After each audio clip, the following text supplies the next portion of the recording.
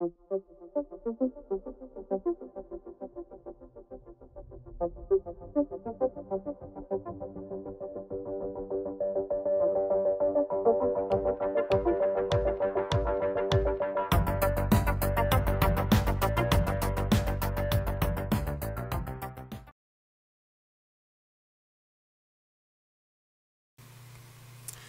this lecture, we're going to take a look at the topic referred to as being fins.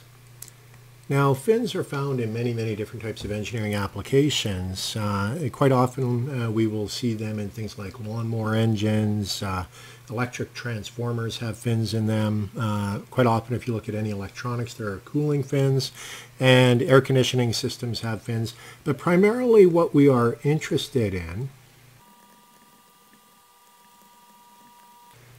Our primary interest is how much heat they are removing from a surface. And so uh, that is a bit of a simplification of what the fin does, but that, that's typically what, what we're after when we're doing our engineering calculations. And, and uh, there are all kinds of different fins. If, if you look at them from cross sections, you can have uh, straight fins that do things like this. You can have fins that do tapering. Uh, you, you can have fins that are wrapped around a tube, as we're going to see shortly in a video clip. Uh, but the fins that wrap around a tube might look something like this. I apologize for my artwork not being perfect.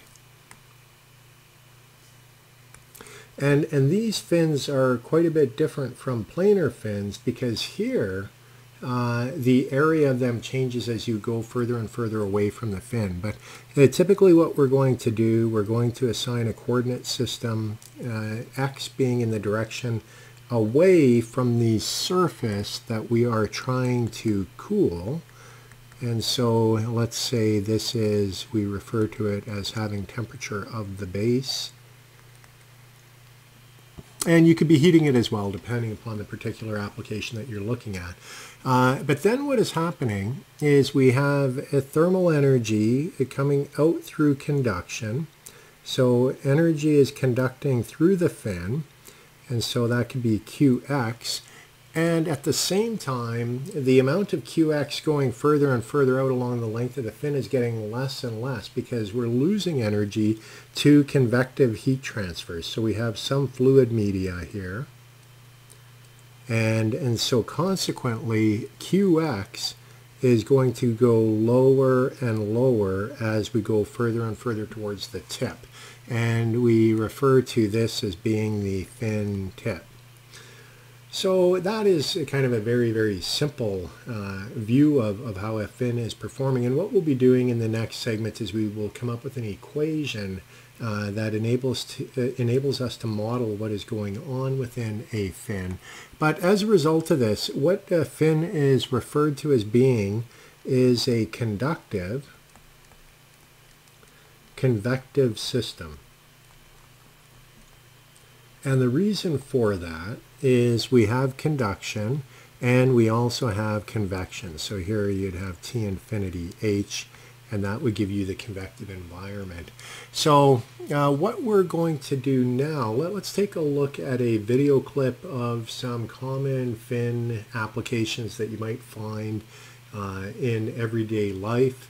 And, and then what we'll be doing in the next segment is we're going to go into the theory and we're going to come up with what is called the fin equation, which enables us to uh, move towards estimating the amount of heat removed from a surface due to a fin. So let's move on to the video clip and I'll talk through uh, different types of fin applications. And the first one that we're going to begin with is this is refrigerator with a thermoelectric cooler in it. And so if you open the door, you'll see in the back there's a grill, and, and that's where the thermoelectric cooler is. When you remove the panel, you'll see there's the aluminum uh, base on the left-hand side. That has fins on it. And if you flip the fridge around and you take the back off, you'll see uh, there's an electric circuit board at the top, and then there's a thing with the fan at the bottom. And if you go in closer, you'll start to see there are fins, and the fan is providing forced convection to cool those. When you look from the side, that gives you the profile of the fin. And so that's another example of a pin. This is uh, inside of a Dell computer, uh, cooling fins all over. This is an air-cooled uh, engine in a weed eater, and there you can see the fins. This is a lawnmower engine, uh, cooling the head. And this is a compressor, and, and compressed air gets hot, and so we want to remove the heat there. Uh, this is a classroom in Reykjavik, Iceland, and there you can see a radiator on the bottom and that has fins which uh, enable us to transmit uh, heat into the room. And then up higher there was another radiator and there are fins there. And and, and then this is another hot water radiator. You can see the uh, fins wrapped around the copper tube. Looking at the IR signature you can see that the fins are getting hot as hot fluid is circulating through that radiator tube. So those are some example applications of fins. Uh, what we're going to do in the next segment we're going to move into the and we're going to come up with an equation that enables us to uh, start to quantify the amount of heat removed from the base when you have a fin attached to it.